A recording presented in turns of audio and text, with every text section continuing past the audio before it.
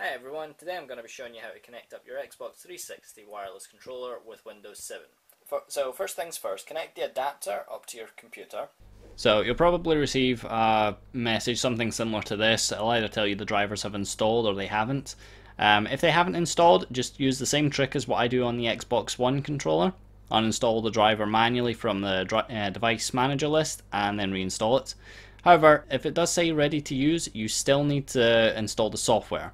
Um, this is Microsoft's website. I'll put a link down in the description itself. Um, all you have to do is search for Xbox 360 wireless controller for Windows.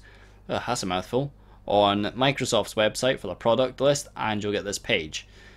So on this page, you'll have a uh, you'll have highlights, specifications, and downloads. You want to click on downloads, uh, select the, well, basically select the version of Windows that you have, select the software there.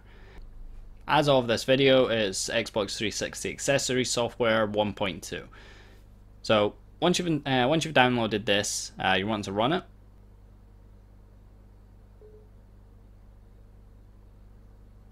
And then if you install it, okay, and it'll prompt you to restart your it'll prompt you to restart your computer. Um, you will have to do this for this to work. So after restarting your computer, what you're going to have to do is sync up the wireless controller to the adapter. So all you do is press and hold this button until it starts flashing, and then switch on your controller, and there'll be a wireless sync button at the back here.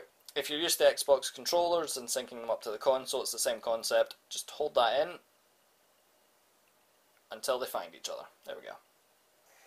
So, as with the other video, just to make sure that this works, so we can sit and move the character around.